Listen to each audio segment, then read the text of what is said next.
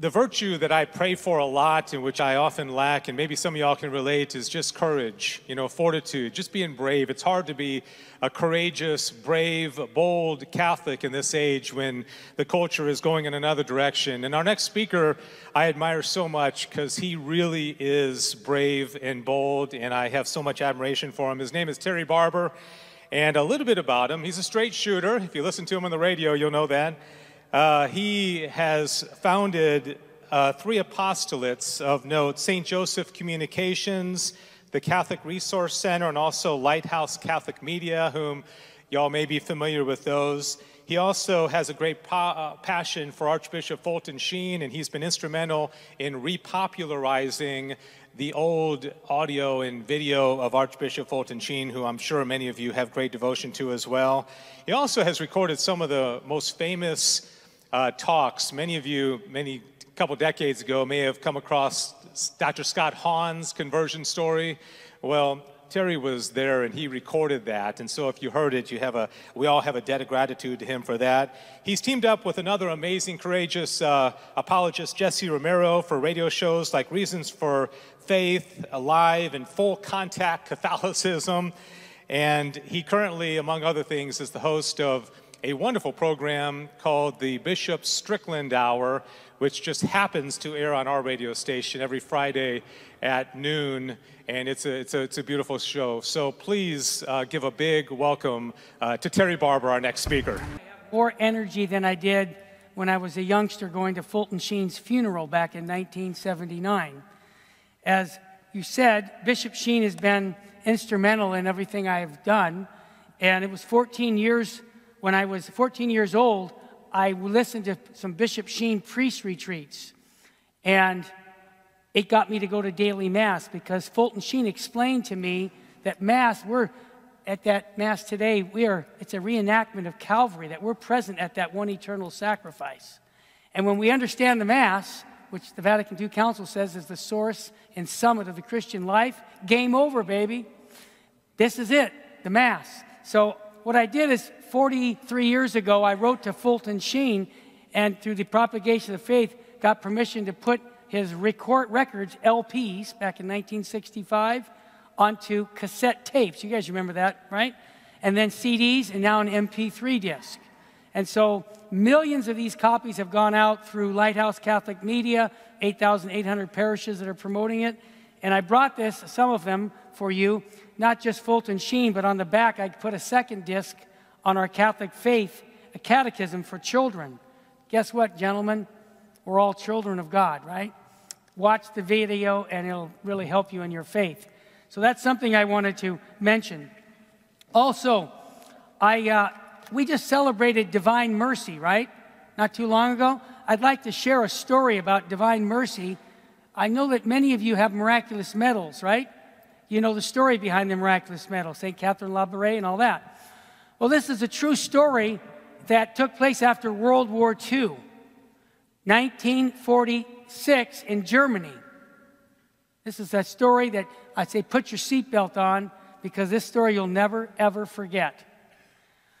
And the story is one gentleman was walking down a country road after World War II, and you remember the country had been blown up by the Allies in World War II, and he hears some ladies screaming, Help, help, help! There's a young boy that couldn't swim in the lake, and he was drowning, and the ladies couldn't go and save him. So what happened? This man says, Well, I can jump in and swim and you know, save the little boy's life. So he saves the little boy's life. Okay? The mother says, Thanks for saving my son's life. Can I give you some money? Or, no, I don't need any money. Can I feed you? And like the rest of us, we'd say, Yes, I'm hungry. So he gives him, so the wife, you know, mother gives this man a nice meal. Now it's time to leave. And the woman takes this miraculous medal off the five year old boy and says, Can I give this medal to you as a way of commemorating you saving my son's life? He says, Yeah, why not? Puts the medal around his neck, and he's off and going. Now, you know, historically, many Germans migrated to South America, Brazil, and there's tons of them went there. He went there. Unfortunately, that man became an alcoholic in Brazil. He was living on the streets for 25 years. Now put your seatbelt on. Here's where divine mercy comes in. The man's dying in a Catholic hospital. The nuns are praying to this, for this guy to make his peace with God because they know his heart's going out. And they try to say, Can we bring a priest so you can make your peace with God? He says, No, get out of here, sisters. I don't need that. So the, con- the girls go back to the convent. Mother Superior's there. They go, Mother, there's a soul. There's, he's going to die soon, and we can't get him to go make his peace with God and go to confession. What can we do? Mother Superior says, What did Our Lady say at Fatima? Souls are going to hell because no one is there to pray and make sacrifices. Start your sacrifices for that man. Pray hard. And by the way, there's a German priest who's just been ordained from Germany who's our chaplain here at the hospital. Ask him to go visit this man to speak in German and try and get him to go to confession. That'll help. They did the same thing. So that's what they did. They had the priest come. The priest comes to visit the man dying. And the priest says, you know, in German, hey, I noticed you got that miraculous medal around your neck. Did your mother give it to you? And the man says, no, father, many years after the war, I mean, many years ago, right after the war, I was just walking down a country road and there was a little boy drowning in the water and the, the mother was screaming, help, help, help. I pulled the kid out of the water and the mother gave me that medal. And the priest says, You did that? Yeah, that was me. You saved my life. And then you know what happened? He said to Father, he gave him a big hug. you know, he says, Thank you. Allah says, Yeah, thank you, thank you. And the guy says, Father, will you hear my confession? He heard his confession, and the very next day he died. Now go tell two people tonight at dinner that story. This is divine mercy example of what can happen when people are praying. Now, I share that story with you because it's so important that we give people opportunities to come back to Christ. And Father's homily, Father's talk today touched me profoundly about the examination of conscience, the idea of asking God, what does He want us to do every day to share that faith? And so I ended up doing something. How many of you know Ignatius Press? Does that name ring a bell? How about a guy by the name of Father Joe Fessio, the founder? Does that ring a bell? Jesuit? Well, he, he twisted my arm. I mean, he married my wife and I, he uh, baptized all my kids. And he said, Terry, you need to write a book on how to share your faith with anyone. Because you, at my background was in real estate. You know, California is a little 40 million people, you know, state. But I was 13th in the state of California in real estate. I retired after five years. I was a door knocker. So I used to sell real estate on planet Earth. Now I sell real estate for heaven. And so this book, I was taught basic laws of selling so what I did is I applied them to evangelization. Is living in the presence of God, teaching you how to share your. How many guys right here have formally been taught how to share your personal testimony? Raise your hand. I hope you have. Few of you. Out of all of us, six or seven. I have a whole chapter on that. You need to be able to know how to do your 30 second, one minute, you know, five minute elevator conversion testimony of your witness for Christ. And so I did this, and it's become a bestseller. I just have maybe 50 copies, probably less now, but I'd be happy to mail them to you. So, what I'm going to share right now is your theme is how do you persevere in the faith? My, my answer to that is by sharing your faith. Because when you share your faith, you confirm yourself in your faith. Just like when you teach religion classes, it teaches you your faith. So, this is what I did. I have a chapter called The Ten Commandments of sharing your faith. And that first commandment is, Thou shalt pray always. Now, oh, I forgot to mention one more thing. You mentioned Jesse Romero. I said to myself, What can I do for you individually that will help you and build up your faith? So, what did I do? I took four of Jesse Romero's best talks at men's conferences all over the country. One's on pornography, one's on uh, the four last things, you know, all that's good material. I put it into a downloadable download, and it's free for you. Uh, at my table, you have to pull your phone out. You have to get it onto your phone, your a picture, your a camera.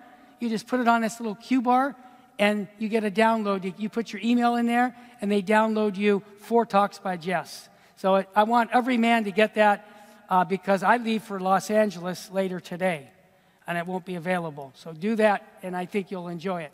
First commandment Thou shalt pray always. Life of prayer, pray with people more than you read. St. Francis of Assisi. And I think Father made it so clear about the importance of prayer. I talk about adoration of the Blessed Sacrament. I can tell you uh, hours of stories of people encountering Jesus Christ. Because when does Jesus Christ encounter us? When we're silent. Have you noticed that? Zip your lip, go in front of the Blessed Sacrament, and pray. I have seen conversions that I could tell you all day long, people coming, massive convert. I've had murderers come into our chapel and pray before the Blessed Sacrament, screaming. Uh, I mean, I could tell you so many stories that it's so important that we visit Jesus in the Blessed Sacrament. I'm going to encourage you, as Fulton Sheen did for me, to make a daily holy hour. Now, now you can't do it always, but at least once a week, spend that quiet time before our Eucharistic King. It'll change your life. More than reading, more than studying your faith, it's prayer before the Blessed Sacrament because that's our Eucharistic King. And as the Second Vatican Council talks about, the Eucharist is the source and summit of the Christian life. Now, I left you guys a sheet, a cheat sheet in the back on my table. Uh, when, I, when I did the interview on Guadalupe Radio, I said anybody who wants to get a cheat sheet, uh, what it is is biblical evidence for Catholicism. If I asked you, gentlemen, where in the Bible is the sacrament of confession? How many would you raise your hand and say, I know how? Take a look around, guys. Take a look around. One or three, five. My sheet will give you about 180 scriptural verses for in defense of the Catholic faith on Our Lady, purgatory. It's all there. It's nice to have that, and the price is free. Okay, your mattress is free. You guys have that commercial out here? No, only in California. So that's the first commandment. Second commandment, thou shalt be prepared. Always be ready. First Peter, study your apologetics, mark up your Bibles, memorize scripture verses. Has, have any of you gone to Wichita, Kansas for our family conference for the last 22 years? Yeah, there you go. Um, I was there many years ago. I, uh, you know, we, we put that on for years. Now the diocese is doing it, which is great. I'm, I'm kind of a guy that starts things and then walks away from them, like Lighthouse and, and other things, different Catholic stations, uh, radio stations. I think well, there were only five stations when I first started, and I think, what is it now, up to 700? 700 Catholic stations. Thank you, Jesus. So when I talk about apologetics, yeah, praise God. All for Jesus, man. That's all I can say. All for Jesus. Now, we talk about apologetics, it's in defense of the faith a little 15 year old kid came up to me and said, Mr. Barber, thank you very much for giving me the Bishop Sheen recordings and Tim Staples and Father Bill Casey and all these guys that I've just learned so much of my faith. When I was at a Bible camp, and I was the only Catholic at the Bible camp, I got put on the, you know, on the, on the stage to say, Why are you a Catholic? When they asked me what parish, what church you're from, he was from St. Mary's. And he was able to defend his Catholic faith because he studied his faith at age 15, which is not is pretty uncommon because statistically, Father gave that statistic that was out in Europe, 1997 statistic. Young people, by the time they're 23 years of age, 87% of them will not be practicing their Catholic faith. Gentlemen, would you agree that needs to stop? Absolutely. And way that does it is because of you. What Father just said if dad is practicing the faith, the kids are in the 90% range living their faith. So that's how important you are. So this little kid said to the uh, people, you know, you guys, they said, you Catholics worship Mary. And what does he do? He says, excuse me, any of you gentlemen have pictures of your wives or your kids in your wallet? Yes or no? Yes, we have it. Do you worship that image? No. We don't worship Mary either. And he did a catechesis to all our Baptist friends about why the role of Mary is important. I just said, young man, God love you. So that's why the second commandment is about being, thou shalt be prepared. Now, I've distributed through Lighthouse and through the Augustine and all of St. Joe and all the different millions of recordings because I carry them in my pocket. I'm constantly handing stuff out, little seeds that God will water. Someone else will do that. So that's why it's important for us to know our faith. The third commandment, thou shalt be intentional. Evangelization is an attitude. Fish don't catch themselves. God will put you in situations to evangelize. How many of you gentlemen are coaches? Soccer, football, baseball? Raise your hand. Yeah, quite a few. Here's what happened to me when I, my kids were young. Nobody wanted to coach the soccer. I'm a baseball fanatic, okay? So soccer I did because the kids liked it. So I'm coaching, and I'd always pray before each game with the kids. And I'd ask God to protect everybody from being hurt. And basically, uh, you know, I blessed myself and we prayed. About 80% of the kids were Catholic in Southern California, so there's no problem. Uh, the following Monday after our Saturday game, if you haven't noticed, I'm five foot four, okay? I'm not six foot four. Here's what happened. Some gentleman who's has got his uh, daughter on the team had heard that I was praying with the kids before the game, and I guess that didn't go over well. So we're on, the, we're on the field, and he comes over, and you can see him walking like this over. But you got to remember, I was a professional umpire up to AAA. I can handle anybody with God's grace. I'm used to having people shout at me. So this guy's coming over, and I see him in my peripheral vision. I said, Oh boy, oh angel of God, my guardian dear, to whom God's love commits me here. Forever this day be at my side, to light, to guard, to rule and guide. From sinful stain, will keep me free and in death's hour my helper will be. Bring him on. I'm ready. So I see him coming, and he's, he's yelling. He goes, Hey, are you Coach Barber? He's about 25 feet away. And I'm thinking, It depends. No. And I said, Yes. How can I do to help you? Is it true? He's six foot four dude coming down at me going, Is it true you're praying with the kids before games? I said, Yes, I do that. I asked of God to protect all kids from being hurt in the game, that we have a great game. I do that. And all of a sudden, he changes. He goes, I've been coaching here for three years. I took a year off. I've always wanted to do it, but I didn't have the guts to do it. Now I'm going to do that. And I went, Thank you, Jesus. Why do I say that? We have to bring our faith into everything we do, at work, wherever, because we have to be that light. That's why we called it Lighthouse Catholic Media.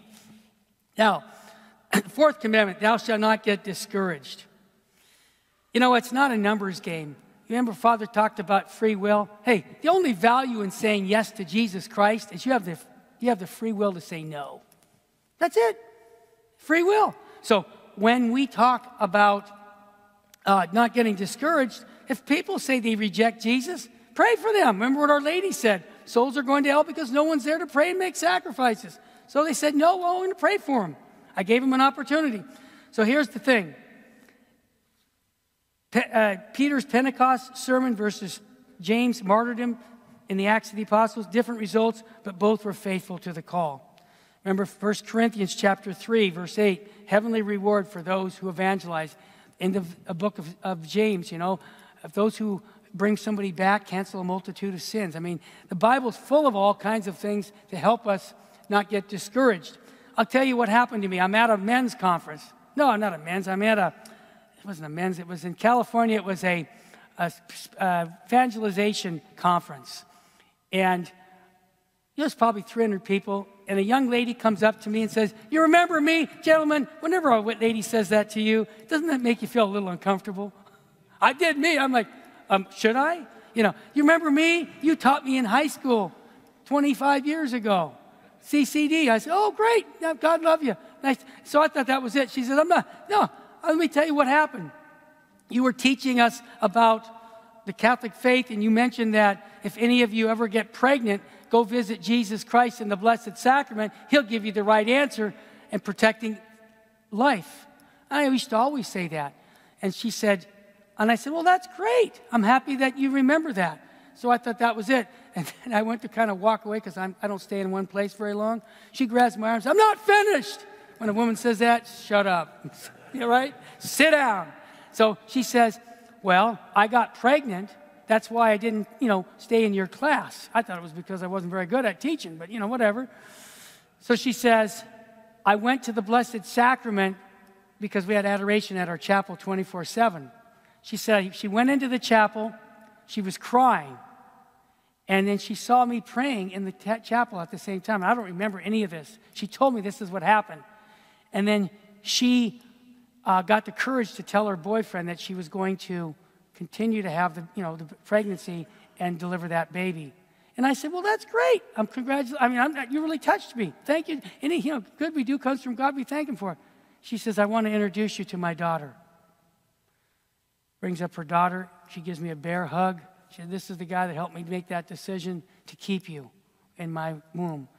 Why do I say that? We never know what's going to happen. How many times you're sharing the faith and you go, well, whatever, leave it to God's business. Because on the other side, when we take our exit interview, which is, you know, a particular judgment, these things will come up and we'll know everything when we get to heaven. The number, fi- the number five commandment to sharing your faith, thou shalt stay motivated. You listen to Catholic radio here, Guadalupe Radio, you got to listen to that. You got to listen, you got to read good books.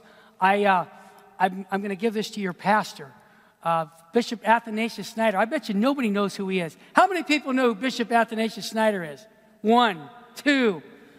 Kazakhstan, he's the bishop. He, was, he grew up in Russia. He's probably the most outstanding bishop in the world, okay? He wrote a book called The Catholic Mass. I did three hours of interviews. I never do that, but teaching people what the Mass is. You can go to VMPR, Virgin Most Powerful Radio. You can get it there. Uh, you can go to Sophia Press, the publisher, and get it. Get that book because once you fall in love with the Mass, game over.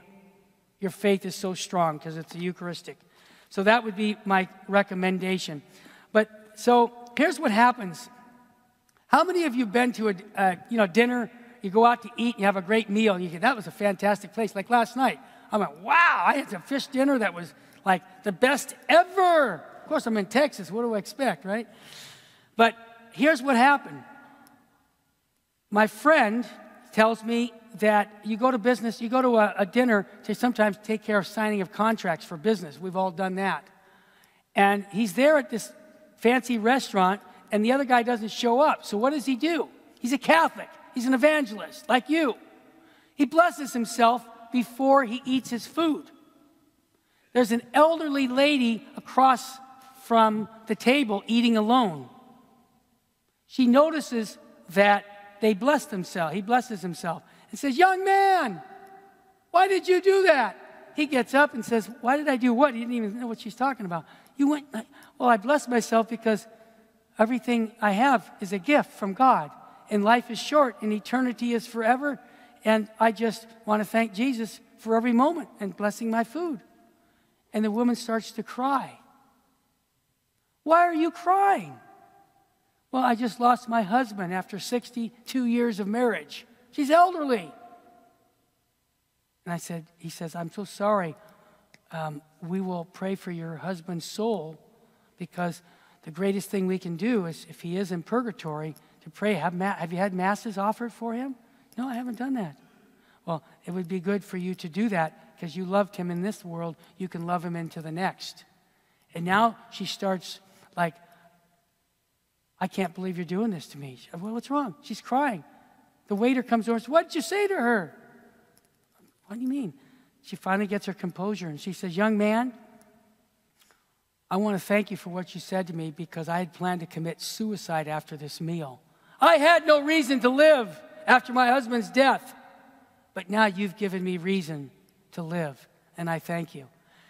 That's how powerful even just blessing yourself at a, at a public restaurant. So keep that story in mind the next time you uh, go to a restaurant, because it's powerful.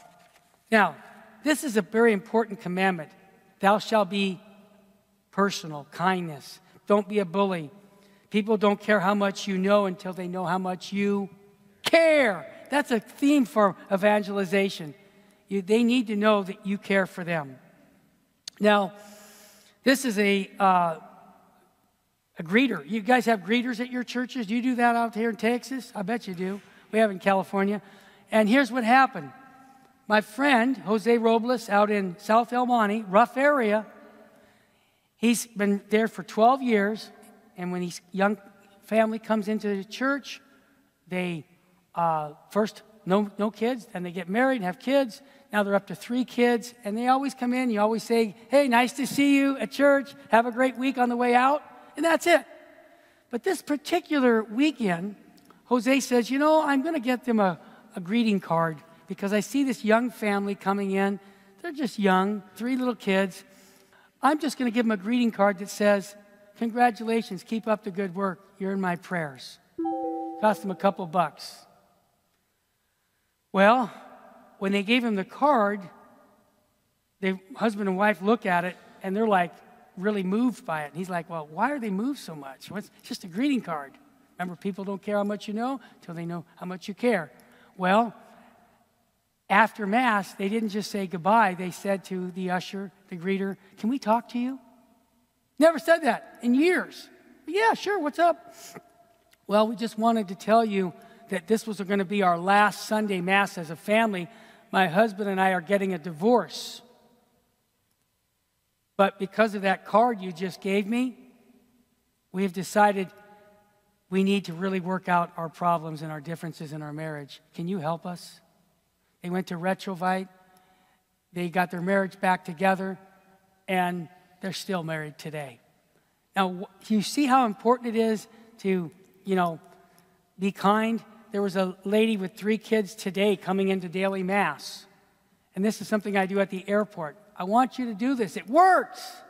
When you see a young mom with the little kids and little babies, say, Mom, keep up the good work. You're changing the world one diaper at a time. And mom always appreciates that. And it's true. Paying a compliment to people is really inexpensive and it really does a well when, it share, when you share the faith.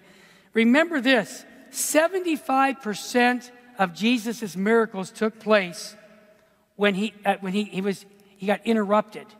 So, you know, in radio, we're always getting interrupted. Uh, you got to get on the air and somebody wants to talk to you, some phone call.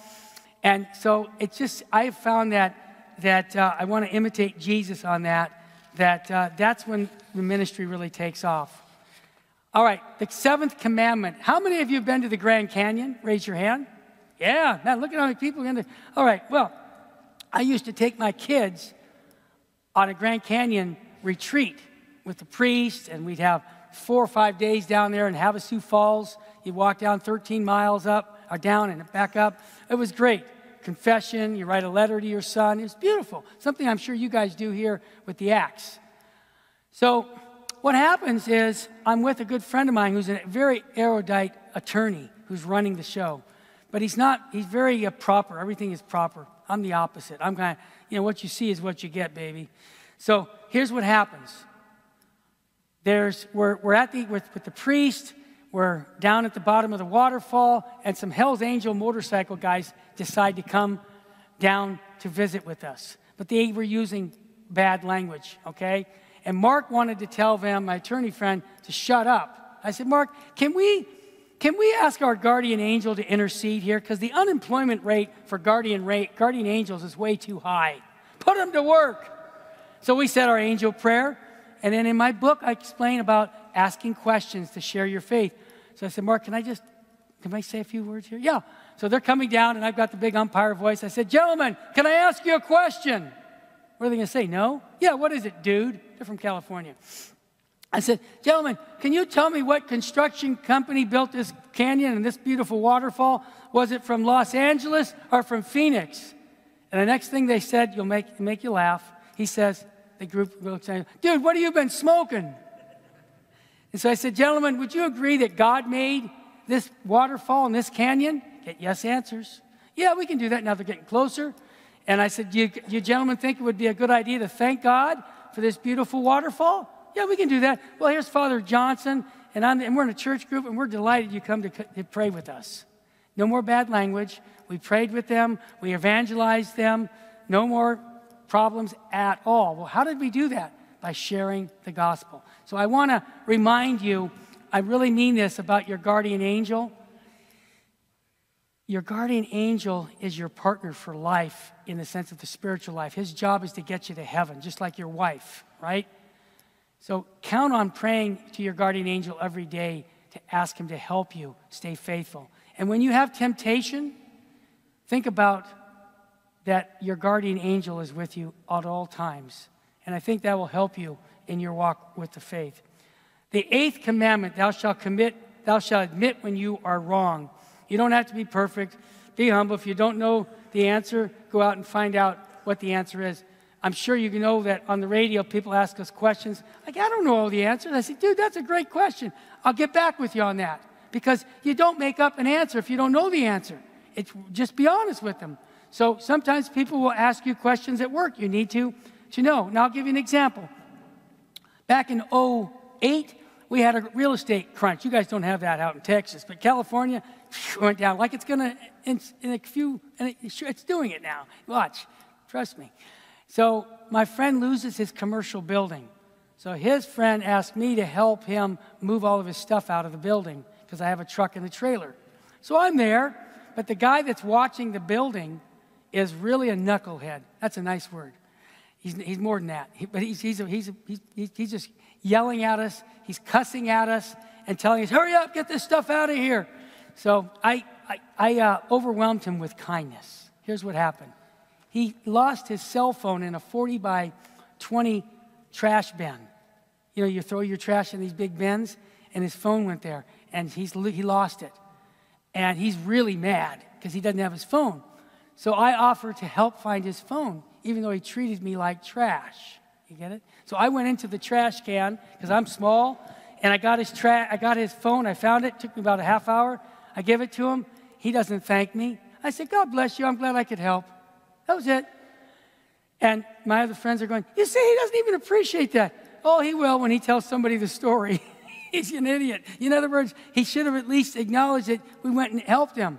But you see, it'll hit him later. So don't worry about the results at the time you do some kindness, kind act for somebody. Because you did it not because he's, you do it because you love him. And whether they, they want you to do it or not, uh, you know, don't worry about it. And I'll, I'll give you one more quick story of how important evangelization is with your kids. Huge. When I used to ride a bike when my kid was five years old around the block after work because he loved riding, know, was learning how to ride. And we ran into some Mormon missionaries. And of course, I, this is how you get into a conversation. Can I ask you a question? What are they going to say? No? They're Mormon missionaries. Got into a conversation with them. I asked them if they were formerly Catholic. 80% of them are. And bottom line is, my, I asked them, well, can you, if you were a Catholic, then you knew the Ten Commandments, right? Can you name the Ten? No. How about the Seven Sacraments? No. So I said, Joseph Fulton. He's named after Bishop Sheen, Fulton Sheen.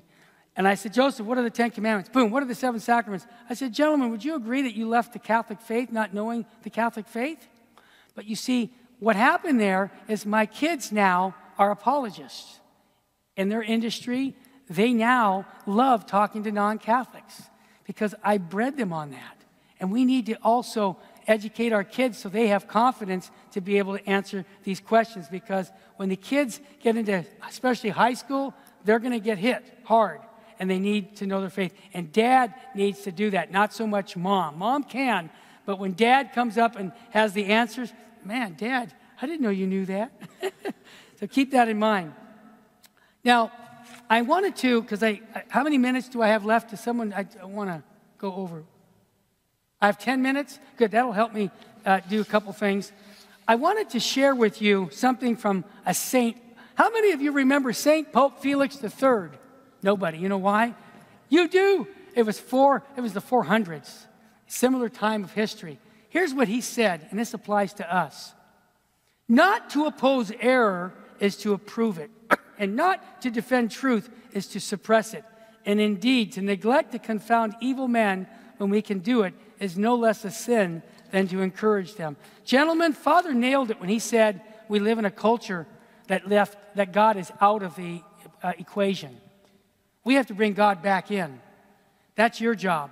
And I would say to review it, because uh, I'm not going to get to all 10 commandments. To review it is we need to know our faith, we need to live our faith, and love our faith. And that's how you stay perseverant in the faith. I know that there's 20 priests here to go to confession. I don't care, all the talks mean nothing. If you go to confession and That's the greatest thing you can do for the today is to encounter the merciful face of Christ. So I want to really encourage you to get to confession.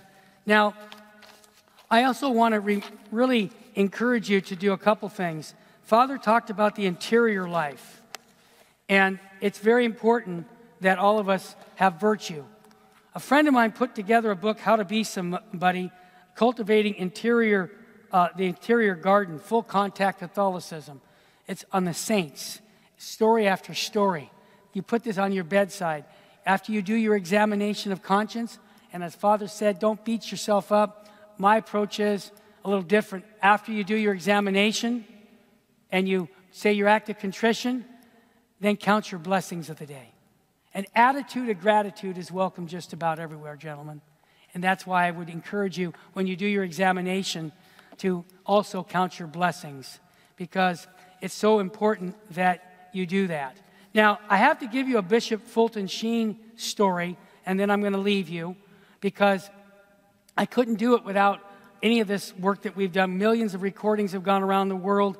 It's Bishop Sheen. He got me engaged in the Mass and the Eucharist, Our Lady. Anything you can read, go to YouTube, type in Fulton Sheen, and it will change your life. Bishop Sheen is that good.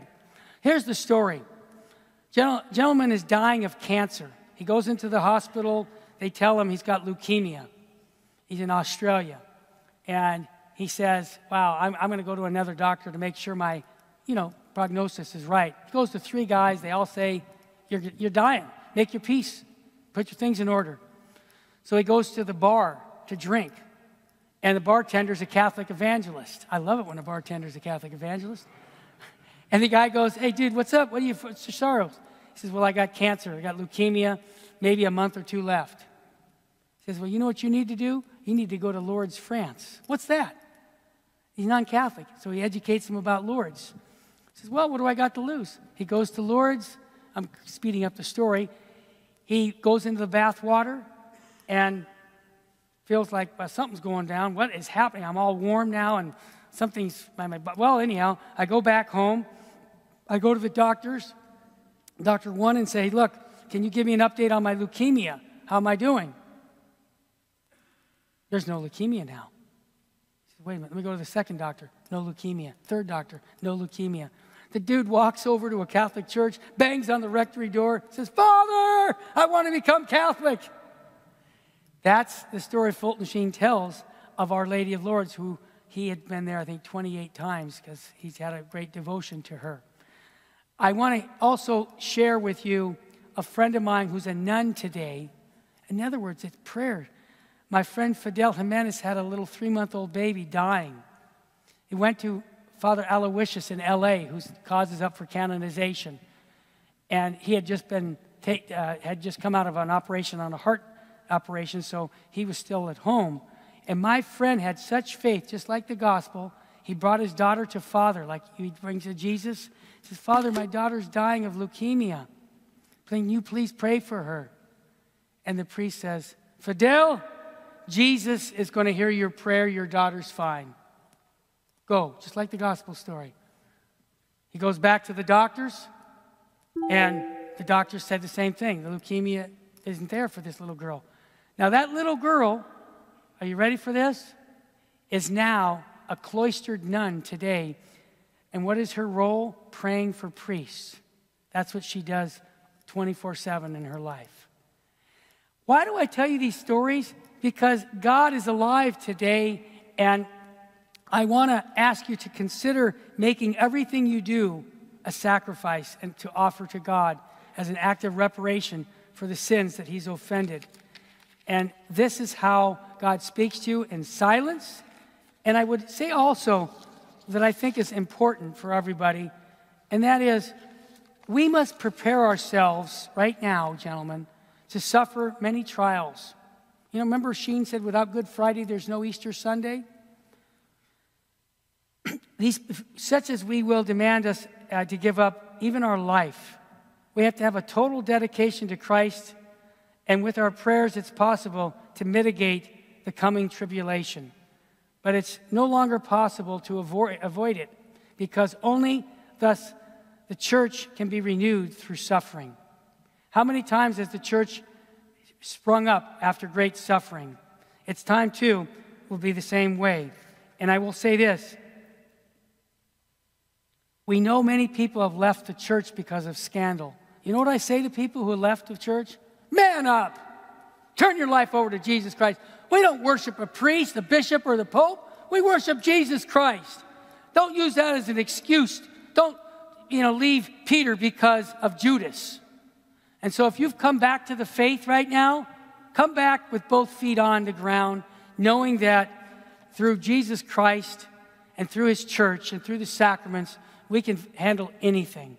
And I will encourage all of you to, again, study your faith, make it a lifelong opportunity.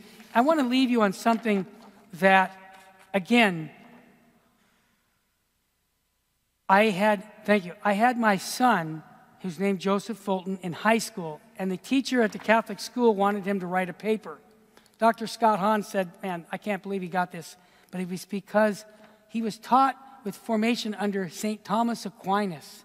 There's a catechism out there. Thomistic philosophy, good philosophy breeds good theology. That's an old axiom. And my son wrote this, and I share this with you out of joy that he could write all this. He said, What is it that makes us human? The question has plagued the mind of philosophers for centuries. It is the ability to reason, the will to survive, the heartbeats within our very being. The inner sense of belonging to the human community as a whole are something much more simpler than all that. I believe that what mainly sets us apart from creatures on our planet is our immortal soul. And has two faculties, intellect and will. He learned this from St. Thomas. We won't learn this normally from anywhere else. On earth here is only a gateway to our eternal happiness no other creature can achieve. He goes on and on. Why I say this is because we know life is short, eternity is forever. Last time I looked, gentlemen, nobody gets out alive. That's it. We're going to face our inner our exit interview. Please live in the state of grace. Every day we talk on the radio, I say, Jess, what state should we be living in? Phoenix, Arizona? Nope. California? Nope. Texas? Nope. The state of grace. How do we do that? by staying close to Jesus and the sacraments. So I want to encourage you in these last minutes to remember, pick up Jesse Romero's Four Talks for Men by going over to the booth and just picking your phone out and picking it up for free. I'm just, you know, going to give that to you. There's also a barcode for all of Scott Hahn's material. Someone, someone said they're reading Rome Sweet Home. How many have read Rome Sweet Home? Yeah. 33 years ago, I mean, I printed 1.1 million copies through Lighthouse 15, 10 years ago. And that book has just done, you know, in Spanish and Chinese, it's gone all over. Well, when Scott Hahn did his conversion story, as you mentioned, um, my wife and I had just come back from our honeymoon. And I had said this recording would be really touching. Well, I was that young couple that they talk about in that book and now, 33 years later, millions of those recordings of Scott Hahn have gone all over the world. And I, you know, I say any good that we do comes from God. We thank Him for it. But, gentlemen, I'm a simple guy. I have no PhDs. My wife has a master's in biblical studies. She's on our network. But what do I have? I have common sense. And can I tell you, common sense ain't that common. We need common sense Catholicism, the fundamentals of the faith. And I ask you, I'm going back to California. I got to go back to Sodom and Gomorrah to evangelize. Yeah, that's where I'm going. Pray for me. And I hope someday to come back to Texas. And I hope that all of you here are going to evangelize your family first and then the culture because you are the light of the world because Jesus Christ lives within you. You are baptized. And again, I want you to get mentored by Archbishop Sheen, whether it's the YouTube or his convert course, Life is Worth Living, because this will help you become sharers of the gospel. And I will ask you the last thing is you need to have your strong faith. How many of you ask Jesus Christ every day for stronger faith? Be honest. Raise your hand. Couple, couple more. Start doing that every single day. Ask Jesus Christ for more faith, and your faith will grow. Last thing, how many of you are married? Okay, I'm, we're doing a seminar. If you ever hear the book Three to Get Married?